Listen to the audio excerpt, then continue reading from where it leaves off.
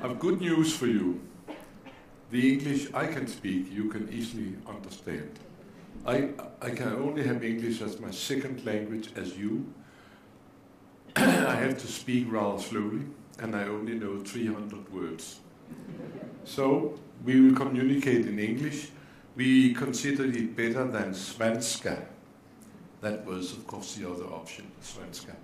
But let's take it in English. Thank you for the nice introduction. Let's get going. I was um, at, a, at a conference in Britain where the British architecture critic uh, uh, Worpole he held up some kind of bottle and he looked out at the, all the people assembled said, I feel sorry for you architects because your mean of communication is the still photo. And by that means of communication, you constantly focus on the form, and after a time, you start to think that this is architecture. It is not architecture. It is sculpture. Architecture is not the form only, but the interplay between the form and the life. And if that interplay doesn't work, it's not good architecture. Only if it works, it's good architecture. But then comes the next problem. It's so easy to study and communicate form. It's so complicated to study life and people and communicate it, and even more complicated with the interaction between form and life. I felt that was, and then when this works, it's good architecture. It helped me a lot that he did this introduction because then I suddenly realized what I've been doing for my entire career until now, of course. Uh, that was lying on my knee and studying this because nobody else was studying that. So, Ken Worpole, you go over here. Let's get started. Danish Architectural Center, they at one point had this silly t-shirt. And I always thought, ah, what if architecture could change the world? Isn't that to fill your mouth too much with words? Could that really be the case? Hmm, we shall see. I talked about this many, many times.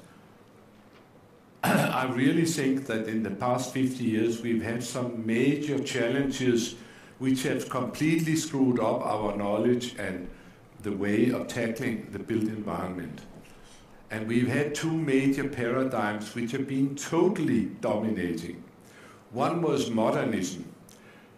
I put down 1960 here as the starting time, which is not correct because modernism started in the 30s, uh, actually in the 20s. In the 30s, it was a very big thing in, especially in Sweden, the Stockholm Exhibition 1930, the book of uh, from 1932 with, with and other people called Accept, Acceptera. It's not something about we will suggest you think about this. No. No, no way out. You must accept. no time today to go into details, but it was a total earthquake in the history of human settlements. Everything was thrown out and changed. Corbusier made drawings like this one saying, city is out, freestanding building is in. Public space is out, grass is good for men, so we put grass there. And he talked about the high rise as the vertical garden city, where everybody could see the grass from the window. Later on, they could only see the parking lot, but that's another story. And that led to all this. As far as also, and this is actually from the book Acceptera, they had a long chapter about that Homo sapien was out. Now we have a new species, that is modern man. Now we shall build for modern man, not modern woman, but modern man. And, and he's a very rational creature. He runs full speed from his bed to his workplace back to his bed while the woman is doing the laundry down in the basement. Uh, he is running there. I was in Lübeck and showed this picture, and then somebody sat there and said, "Oh, where do you get that picture from? That's from Asplund's Acceptera. But do you know it's, it's Joseph Goebbels you have here? I didn't know that. And where did Asplund get a picture of Goebbels in 1932? I cannot explain that. But that was modern man. Until this time, where we had modern man, all the cities all over the world looked the same as these up here from China and from Italy. And they were all built by people, for people, human scale, human senses, human movements. And that was the same Homo sapiens all over the world. And they built the same cities, the same settlements. But with modern man, it should be completely different. Until this time, we always were focusing on the spaces. All the cities were made up of spaces. In the spaces, we met, we walked, we kissed, we had, we had had ceremonies, we beheaded the kings, everything in spaces. And if you think of this is Copenhagen, could be Stockholm, could be anywhere. If you think about a city like Copenhagen, everybody know all the spaces. if we look at Copenhagen, we talk about Strøget and Town Hall Square and this square and that street, and then we know three buildings: the the castle, the the dome, the cathedral, and the uh, the town hall maybe.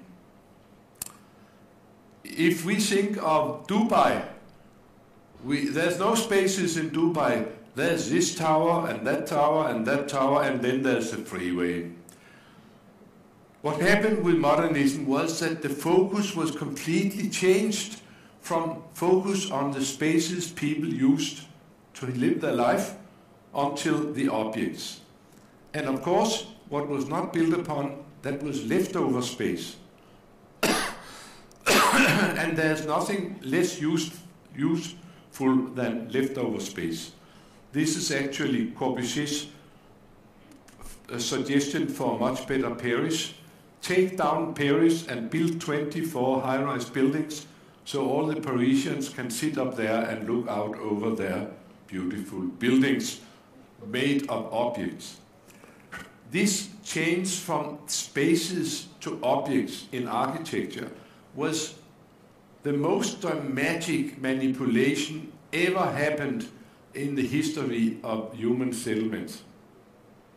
And it also gave rise to a new generation of architects, the architects, who were all competing on who could make the most funny object. You can see that, of course, um, the turning torso is this, in this collection here. Um, also, we had a new group of people, that the bird shit architects, who goes around and drops high-rise wherever they are asked to drop a high-rise. That is contrary completely different from everything, anything which happened before. And also, the modernists, to me, modernism was a goodbye to concern for people. These guys knew nothing about people, and the spaces they left, they were not space, they were leftover space. They were completely unusable. Think of yourself sitting there with your boyfriend and he's trying to tell what a lovely life you're going to have together. Also, modernism was a goodbye to, to the knowledge on human scale. Now, everything should be made very wide and very high, and we could build very big buildings. And it was completely different from the old scale of people. And I think that from this day, all the architects and planners have been completely confused about scale. Generally, they know nothing about human scale and they cannot handle scale. Modernism. And I say that it started really in the big way in 1960. That was some years after the war when we started to get things rolling when you started your Million program and other people started other programs. The other big paradigm of the previous uh, 50 years has been the invasion of motor cars. and, and gradually it became completely dominating in planning. Again, it was not so bad until about 1960.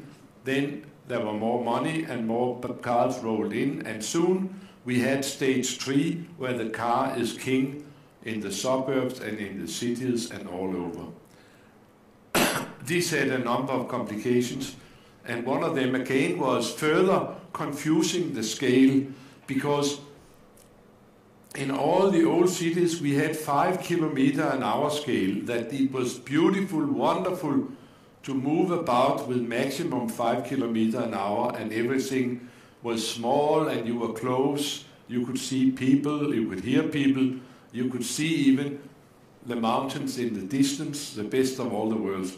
Now, with the 60 kilometer an hour scale, all the spaces were big, all the signs were big, you could see no people, you could see no activity, you could see no details.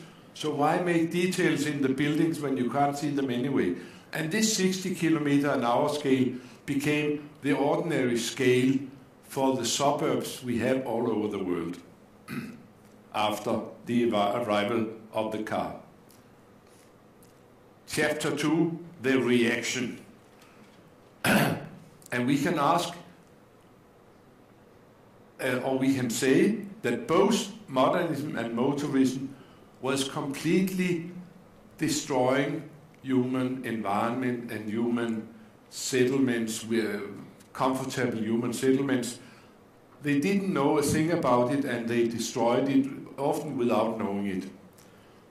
Go, if we go back to 1960 and say, what actually did we know about the influence of physical form on life in 1960? The answer is that we knew virtually nothing. But then, but people started to react. Also, you saw here the reaction to the Million program. that people started to say, hey ho, is this the best you can produce for us? Is this what mankind can do? All this. But, um, so what was known about quality? Virtually nothing. And then the first voice we heard with great strength was from America, Jane Jacobs, who were fighting the town planner in New York, who thought he would save New York by taking down New York and making a number of freeways across Manhattan and build high-rise along these freeways. Unfortunately, Jane Jacobs lived in one of the buildings he was going to take down. Actually, she lived in Greenwich Village, and he said that Greenwich Village must go, it's old-fashioned, it, it must go stupid man because Jane, Jane, Jane Jacobs lived there. She rallied all the housewives and all the citizens, and they combated this project and they won. She made this famous book, The First Voice Against Modernism and Motorism, saying if modernism and motorism are to govern this world, all the great cities will be dead cities.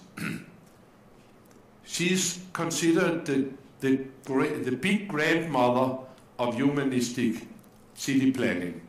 And she is still a very big guru. I saw two years ago in, in Toronto uh, this little uh, uh,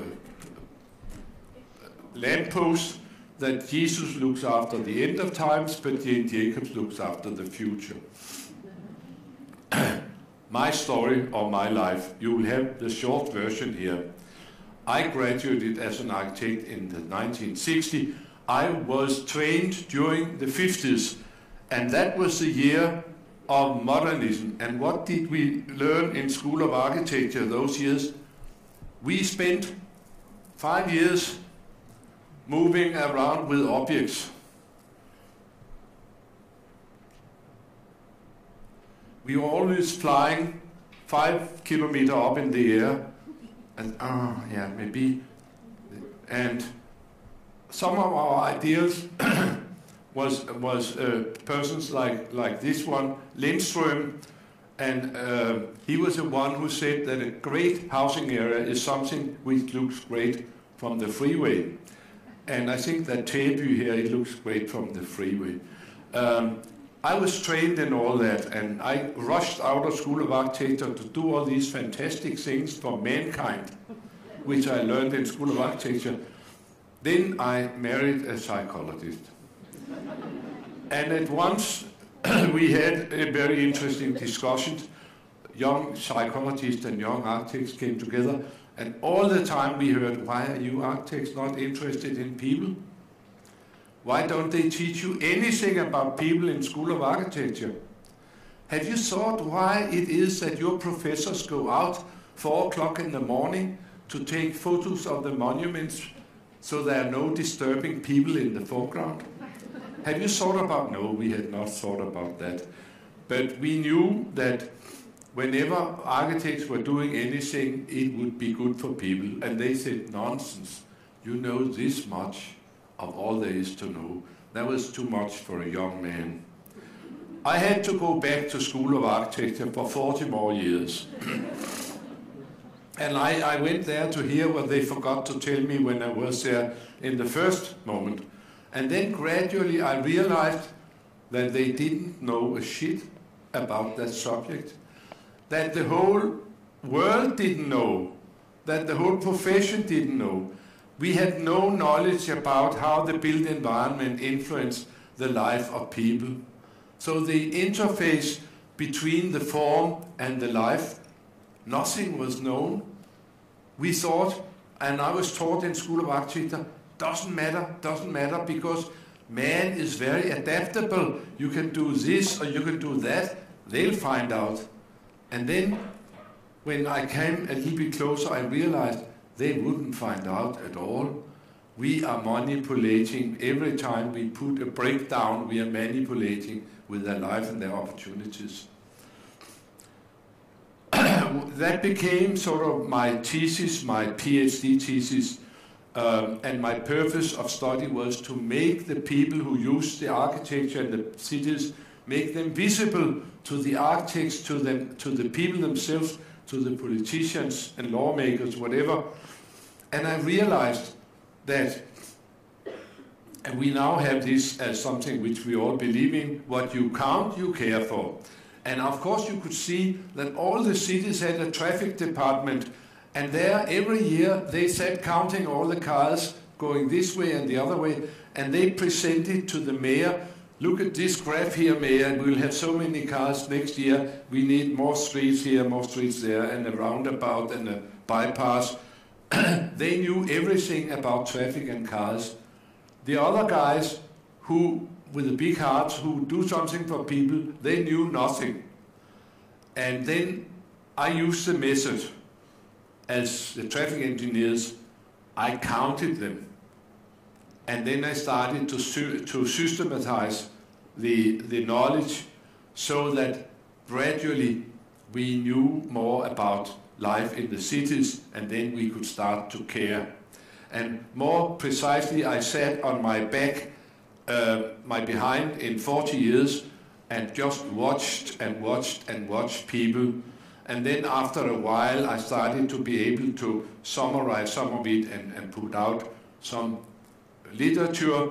And much to my surprise, uh, these literature started to be spread all over the world. And then I realized that it was not because my stupid little thesis was very good. It was because there was absolutely nothing else about the subject and everybody around the world were very, very eager to hear something about how the architecture influenced the life of people and how people used uh, cities. And then, to my surprise, more and more books were published in more and more funny languages, even in my first book in Swedish, very proud. Uh, of course, to my joy, and there are many joys in uh, being a researcher, whatever, for so many years. All my books, of course, are translated and published in China. They have been published over there for more than 25 years, and they are spread very widely all over China because I knew know because I've signed most of them, and that was a big work. What in my old days, what makes me a little bit sorry is the fact that they never had time to read them. had they read them, instead of doing such a high-rise thing with a wall around it, they could take the same square meters and do a nice city which is not so high with squares and whatever, and they wouldn't need a wall around it. So if only they read the book, they could have done that. But they are, they are picking up now to some extent. Summing up, we knew nothing in, in 1960. But after 50 years, I will conclude that now we know quite a few things it starts with Jane Jacobs, and then there are all these other guys. Not so many, but enough are, are studied so that we know how to make really nice new towns, really nice new housing areas, and we know how to repair the old cities which have been invaded by the cars. We know how to clean up after the cars and create wonderful uh, environments in the existing cities. All this is now well studied. and looking a little bit more closely into the, this, and because I've been in the game for 50 years, we can now see that there are four, actually only three places in the world where these subjects have been studied. There's a New York school starting with Jane Jacobs. There's some other names here, William Whyte, Project for Public Spaces. There will be the Berkeley School with Christopher Alexander, Marcus, Allen Jacobs, Bosselmann, Appleyard. And then there will be the Copenhagen School and a number of titles of books here. and the difference between these centers for studying of people and, and, and environment, the difference is that in the American schools, there's one guy doing one book, and then there's another doing another, and then there's a third one, and the first one goes on to something else. So it's not continuous, um, so to speak. Um, in the Copenhagen school, we were sitting in Copenhagen, and what could we do? We had to study Copenhagen. So we studied for 50 years Copenhagen. We, we, we used Copenhagen as a as a laboratory for studying relation between physical form and people. And in this way, we came to influence the development of Copenhagen quite, quite efficiently, and I'll come back to that. what was found out in this research? First, in the area of, of planning, we could prove that everything with modernism was killing life and people in the areas. We would say, keep the people together, the modernists spread them out. Integrate the various functions, the modernists segregated.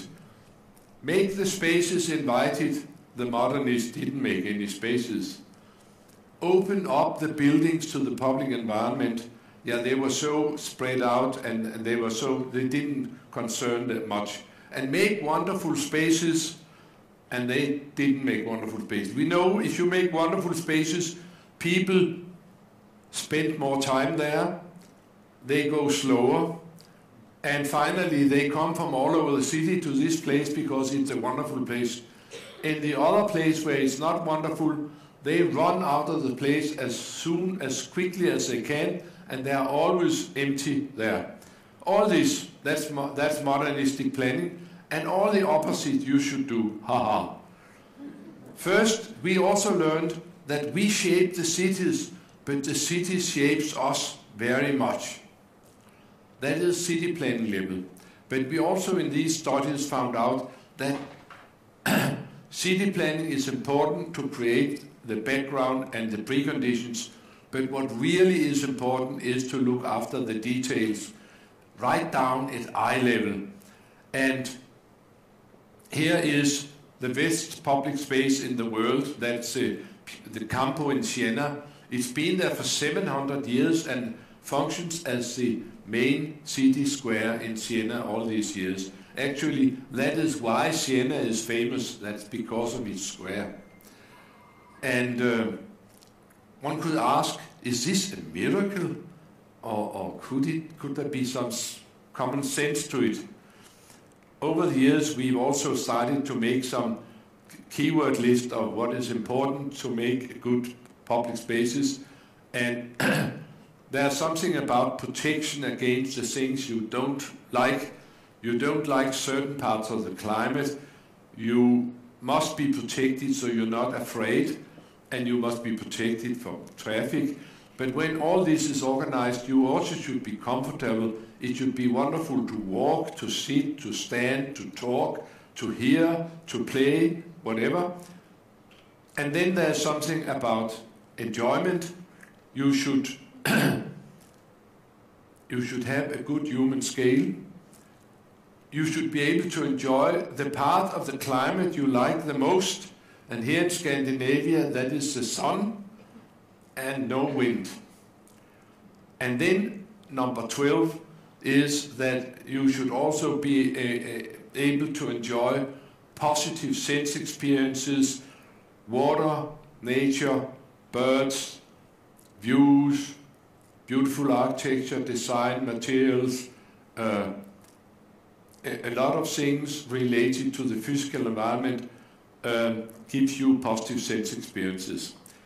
Then you go to the place in Siena and you go in there with this list and then you take you don't come out saying yeah yeah yeah yeah yeah yeah yeah yeah 12 times no you go in there and say wow oh They've even thought, yeah, this is wonderful, this is magnificent. And when you come down and the scale is fine, the climate is fine, and down to the positive sense experience is incredibly beautiful, the materials are fine, it's perfect in all 12 departments, and actually it's the best public space in the world. It's so simple.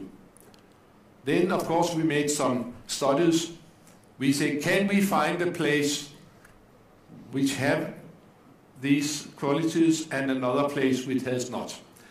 We were, it was not very difficult to find a bad place. We have in Copenhagen a new town called Ørestad. They have a central square called after a famous architect. And that square is famous because out of 12 quality criteria, they've overlooked 13.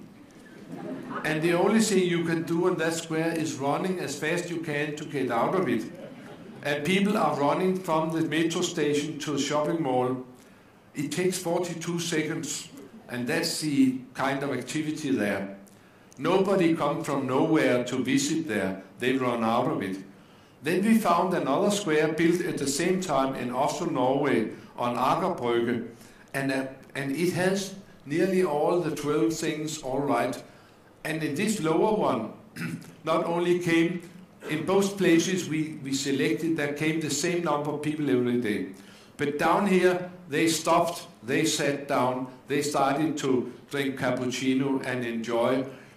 And people came from all over Oslo and say, let's meet on Brygge Square uh, and, and have lunch there, whatever. So they came, it was a, shut up, it was a destination, I'll just kill this one. Sorry. People came from all over Oslo to, to be there, and looking into the uh, activity patterns, there were always 10 times more people in the one place where they've done all the right things compared to the other things where they've done none of them. So it really matters what you do, we found out. While all this research was going on, there were more challenges popping up. And after 50 years, around year 2000, we started to see a distinct change of paradigm. and now the mayors wanted to have a livable and lively city. They were very, very eager to have a sustainable city. And it became more and more important to have a city which invited for healthy lifestyles. And actually, more and more people got sick and tired of modernism and motorism as the dominating qualities of cities. This one about lively and livable, that's actually the old, the old um, need of having human scale public spaces that is the places where you can see the society, where you can meet your fellow citizens. this is as old as, as human settlements are. Man is a very social animal, and we need to have people around us, or we get very depressed and lonely. And there's always been public spaces until the modernists killed them. And, and all these traditional things goes on there, like looking after each other. Um, and you, know, these girls, they dress up very nicely and they go in a very interesting way so that they will be observed. If they are not observed, that's bad for them. And the, and the boys have a good time, but also the girls look at the boys. And the, all, all other groups of people look at each other. Actually, the number one social activity in cities and, and public spaces are watching and hearing other people, just feeling that you are part of the whole picture.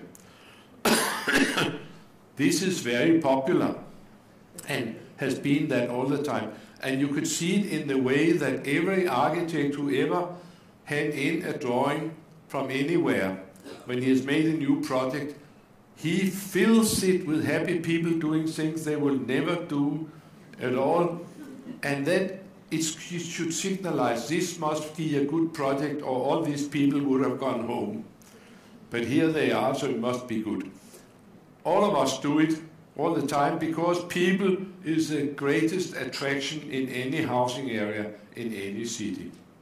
And it's very important that we meet other people, that we see them, that we feel part of a society. then increasingly we become aware of the demand, the challenge from the climate, and we know that we have to make cities where you invite for more walking, more biking, more public transport, more sharing, and less use of resources. Just the fact that all the cars we have, they sleep for 95% of their whole life. They stand on a fine piece of asphalt we have made for them and sleep. And sometimes we make two pieces of asphalt, one at home and one in the workplace, where the car can sleep, while it only works 5% of its lifetime. That's not a good use of resources. and we've come to realize that. And we know that we have to realize this program more as much as possible.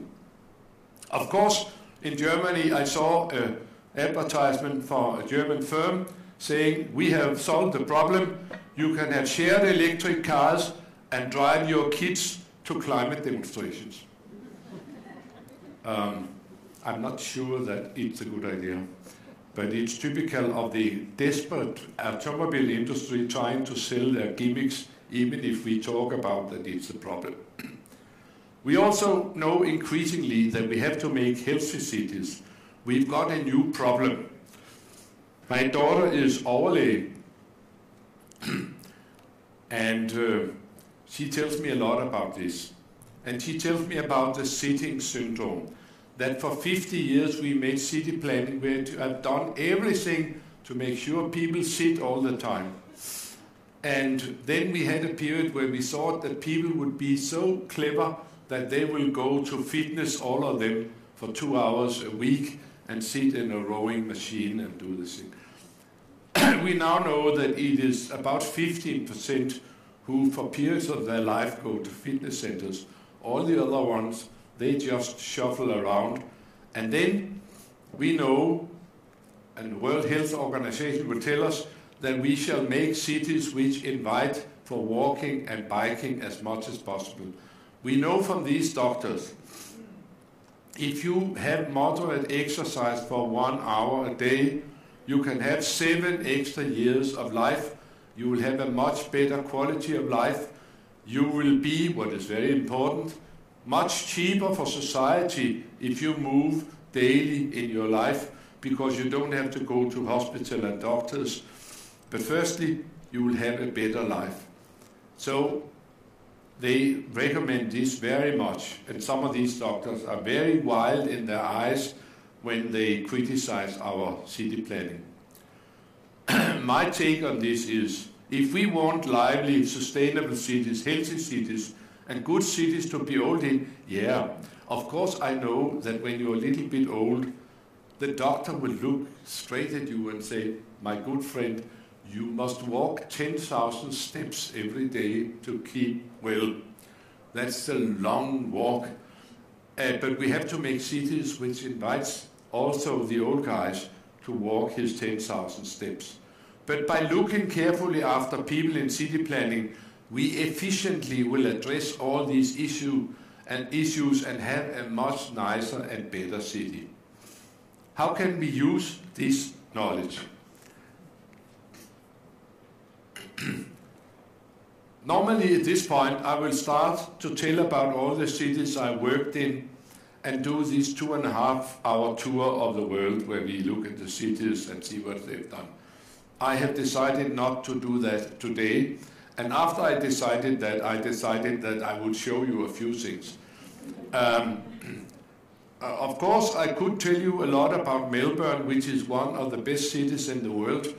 It is it's by far the best city in the southern hemisphere. And I could tell you about New York, where, among other things, we have changed Times Square dramatically. So now, suddenly, people can use the major part of Times Square. We, there are a lot of stories. But I thought I'll tell you a little bit about Sydney. Sydney is very famous for its waterfront. It's got wood, beautiful waterfronts, beautiful buildings on the waterfront. But the whole city is full of cars and buses and noise and pollution, and it is hardly possible to walk in the city center of Sydney. We worked on that since 2006, and we've been pushing at the buses and whatever. It's been hard work. And here is how it looked five years ago on the main street, and here it is how it looks now. It's just two weeks since they introduced the light rail and got this change done. And they used the light rail to push all the cars out of the city. Maybe not the city center, but the central parts of the city.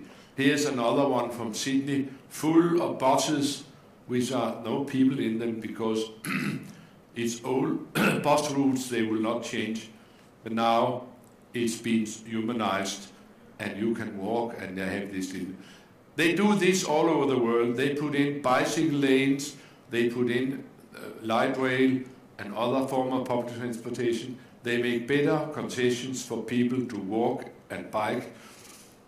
And yeah, not all of them have come so far. This is Bucharest in Romania. They still have a few problems, but now when they have my book in, in Romanian, I, I suspect they will very quickly sort this little problem there. Then, of course, I could tell you about, uh, about Moscow, and I'm a little bit tempted to tell about Moscow, but we haven't time. But we were invited to Moscow in 2012 and found the most horrible sight. The city was completely swamped by cars. They had no parking rules and we whisper to each other that freedom from communism is the right to park everywhere and not pay for it. And uh, here's a little, uh, here's a nice little residential street.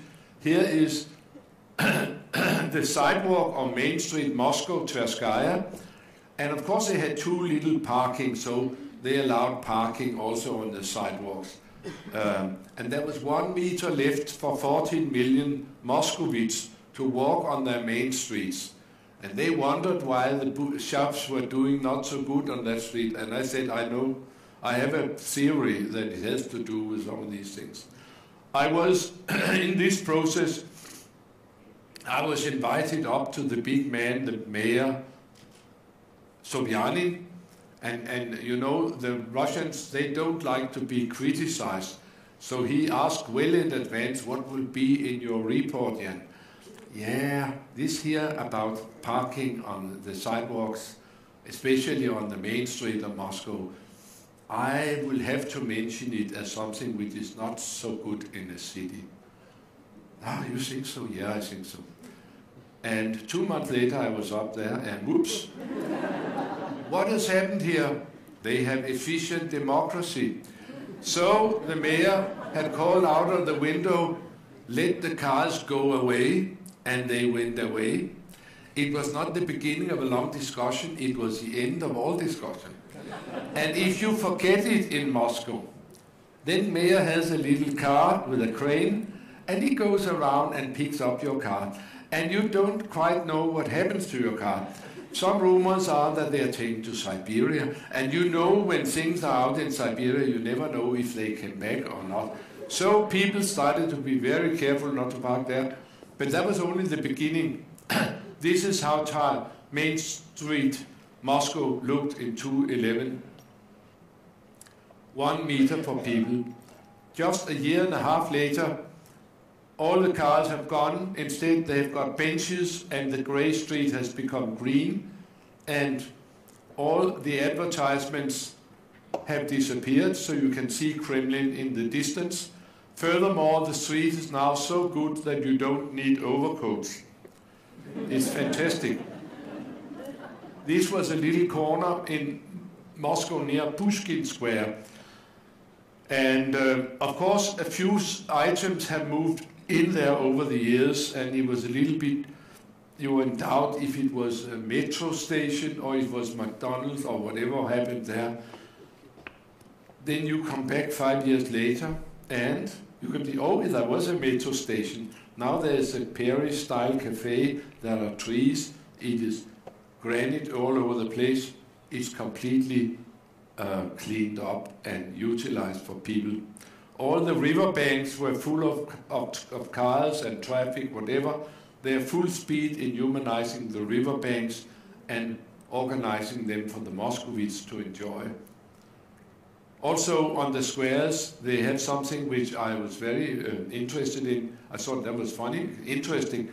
That was they put up swings, big swings, not in kindergarten scale, but in city scale, where you could swing two, three, four people at a time, and the Muscovites were swinging from early morning until midnight. And there was a very nice atmosphere on these new squares, which used to be parking places. When I was in Moscow last time, they came over to me and said, Jan, Jan, we have a new problem. We have the ba Moscow baby boom, and, and I tell you, the humanistic city planning is responsible. You put up these swings and these benches. You took the cars away from the sidewalks and whatever. So you are responsible for the baby boom. I was so pleased. Think about being responsible for a baby boom because the city has become better. On the way out of Moscow, I met this guy, Corbusier, sitting on a pedestal here, and I had the chance to have a short discussion with him. It was somewhat one-sided, and I just pointed out all the errors he had made around the world. Um, it was good to, to get it off your chest. Among all the cities who have done quite interesting things, one of the most interesting transformations has happened in Copenhagen. Copenhagen was one of the very first who started all this.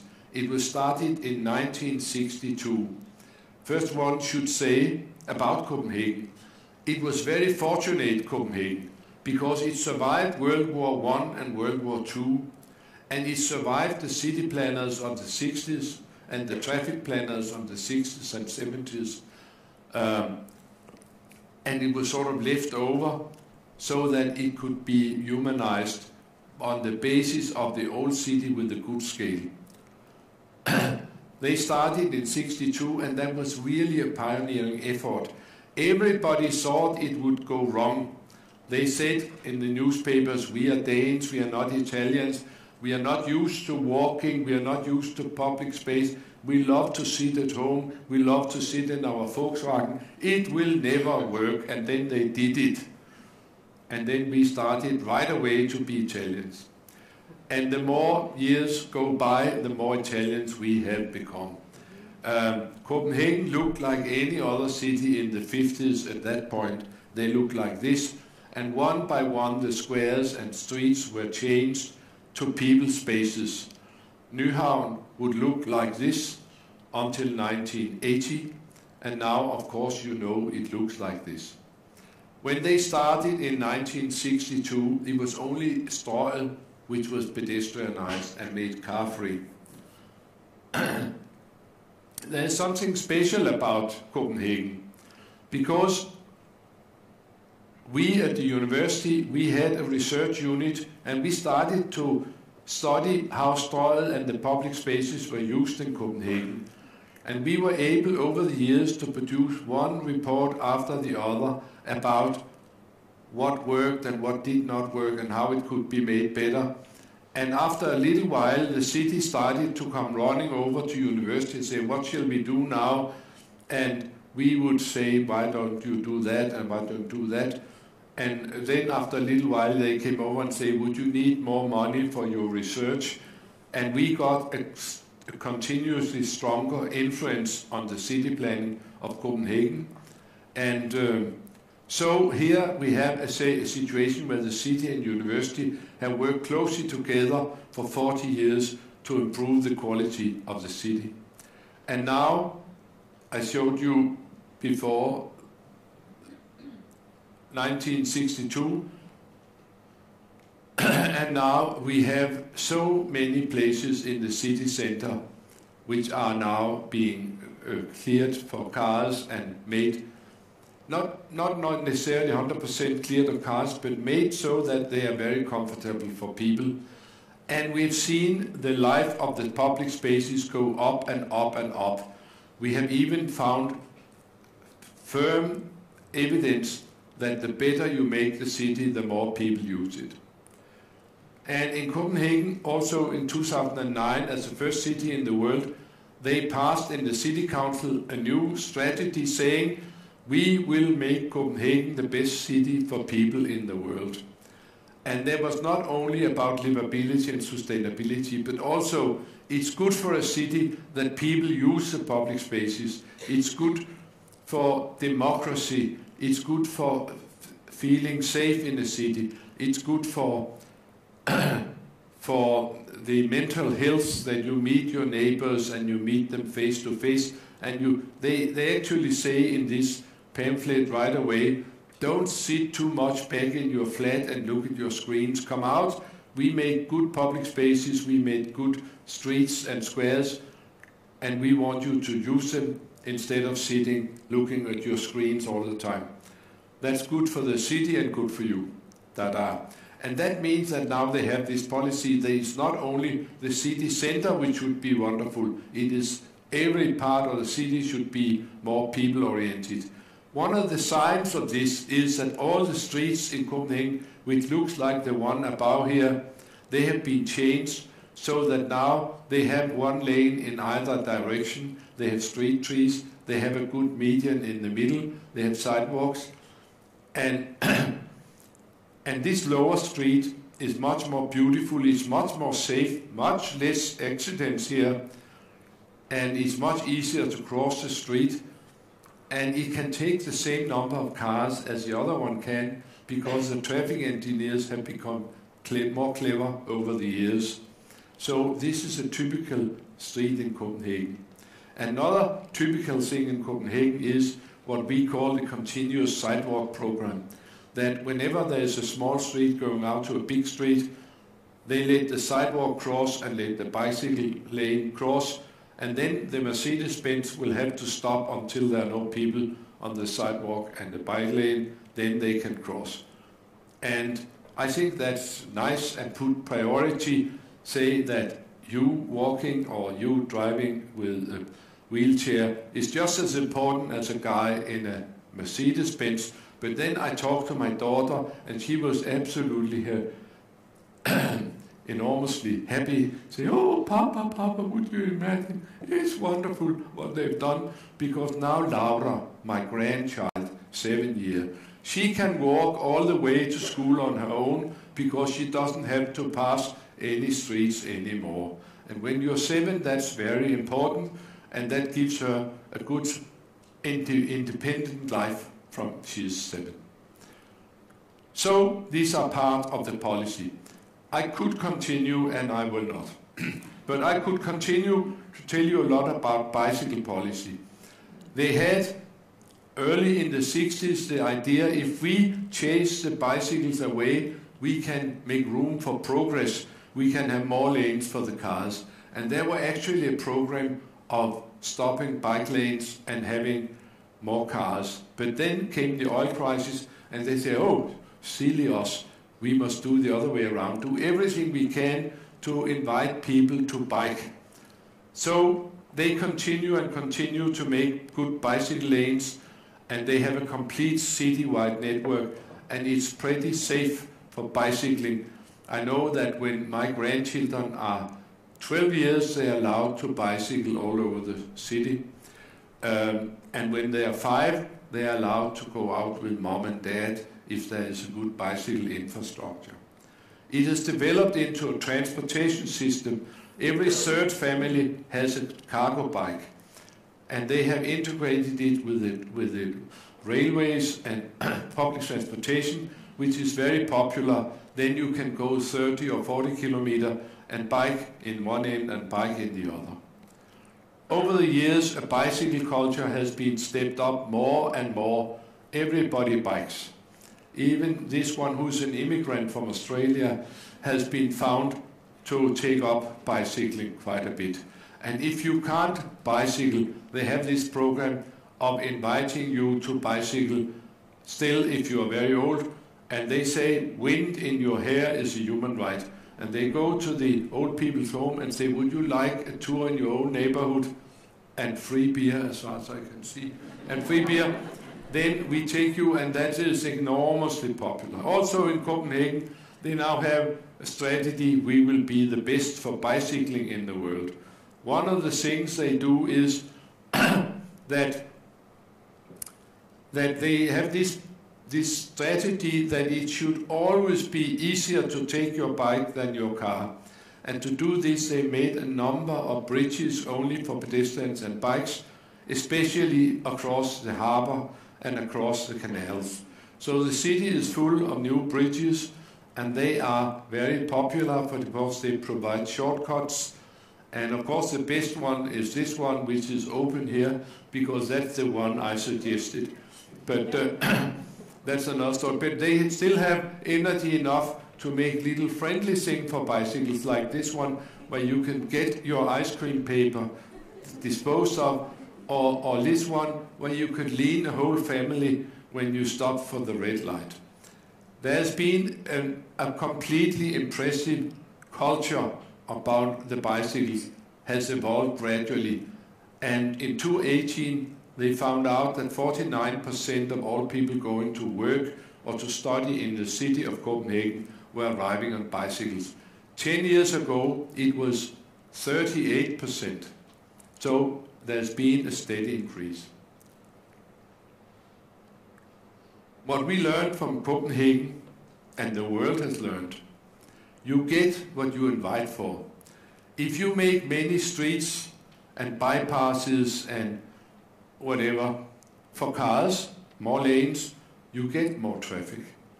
But in Copenhagen, they've had for 50 years now a policy of making better conditions for walking, for public life, and for bicycling. What is the result which we have documented is that there are more walking, there are more public life, and there are more bicycling. So you have sort of a choice. What would you like in your place?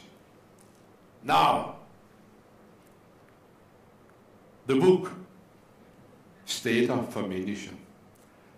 It is, it has been available in all major languages for a while.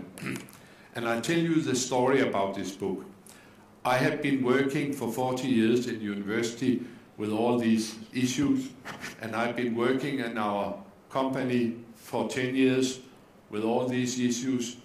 And then, after university time, suddenly this, this uh, it's a, we have a stinking rich foundation for the built environment in Denmark. Uh, and they, they love uh, humanistic city plan. They always came over to the university and say, we like what you're doing. Do you have enough money? You should never say that to university person because then suddenly we found that we needed more money. And uh, then they gave us money and, and that was it. Then I left university and thought, now I will work to make a better world. But then they came back some years later and say, yeah, we would like you to sit down and write down everything you know after 40 years of working in this area while you can still remember it. and then they say, we know you are busy, but isn't that a matter of how many assistants we can offer you? Uh, the one for this and this and this. And then suddenly I had time and we produced Cities for People. It came out the same day in Copenhagen, New York, and Beijing, which I was a little bit proud of. Since then, it's also been published in a number of other places. Among this, I could mention all the neighboring countries to Sweden, Finland, Estonia, Latvia, Denmark, Poland, even Russia. And now, ladies and gentlemen, we have Städer for Människor in Swedish. It's a great day for Swedish culture and for Nordic collaboration. I can tell you about this book that is very, very popular with with elderly women in Denmark. Here, no, it's not my grandmother, it's the Minister of Culture. And he said, I, I took this picture for a con, uh, for an arcade of European cultural ministers who were to sit in their best sofa and read their favorite book. And Jan, I took your book in English so people can see what I'm interested in. But more importantly, she is the one who has made a new Danish architecture policy put people first. In this, in this range of elderly uh, women, women who are interested, I also met this lady here who, who got a book in Danish and one in French for the household. Um, she was very happy about that. And and also elderly men can be interested in my research. This I experienced here in Stockholm. Um, and I haven't even published any book in Swedish at that point. Um, but I've been to many of these lounges. Here we are launching book in Kazakhstan. And here's all the professors of School of Architecture. They sit ready to go out and preach. Here we are in a university in Arabia and they have the Arabic version. It's not in Saudi Arabia because they have no nihab or whatever it's called. They are, you can see the faces, it's in Oman, and uh, it starts here, and then you go backwards. But okay, they forgot the picture from the from the Icelandic uh, swimming pool. That's not in the Arabic version, but apart from that, it is all right. now you have it from Svensk Byggtjänst, and of course, you, you could have made a, a, a bag for each one, uh, like they do in Poland, so they can carry it away and uh, make advertisement And uh, in, uh, in Czech Republic, they even have a fan club where they have the, the cover on, on, on their, on their sweatshirts. And, and in, oh yeah, that's in Lublin in Poland, they they had a year of Jan Gehl where all the city bikes were decorated and every Friday they met and somebody read from the scriptures while they were sitting there in Lublin in Poland. And I already told you about that all these books and all this work and especially work with Copenhagen, uh, has over the years led to a number of quality improvements in Copenhagen. We can enjoy to see, at least in 2013, Copenhagen was on top of the list of livable cities. Melbourne was two, Sydney was there, also Stockholm was there. of course, Copenhagen cannot stay up there. Now it's number five. And why it's number five now? That's because it's become so good a city that everybody wants to live in it, so all the houses have become too expensive, and Monarchy doesn't like it to be gentrified. I don't like it either. It's a little bit of a problem. Now I shall end this session by telling you something which moved me very much. I was more than 80 when Copenhagen turned 850 years. And they decided to make a festival to celebrate 10 people who formed Copenhagen. The founder, Christian, the, fourth, Hans Christian Andersen, they were all. And then, for God's sake, they say, the last of the ten would be you then, because Copenhagen today, that's your work. I was close to tears, and it, it lasted 14 days, and it was a great, great, great time for me because I was the only one of the 10 who was alive and could go around and tell about it. And it was also a great time because in my own, in where I, in my own uh, hometown, I could go around and see myself on the bus stops, on Strøget, and on the doors to the metro. You cannot get higher here in life. And I was, of course, I was sorry that after 14 days they took them down, but it was great moments. But there are still great moments, uh, new great moments because Copenhagen has just named the new city architect. And who is? Uh, who is she? She is my best and closest student for 30 years. She's been my student, my PhD student, my research assistant. She's done all the illustrations in this book and much of the layout. She's been in our firm. She's become director and partner in the firm. Now she's head of the city architecture um, starting Uh, last February. So I know that this line of humanistic city plan will be continued in Copenhagen. And you can ask, as I did in the start, can architecture change the world? Yes, it can, actually. Good luck, Sweden.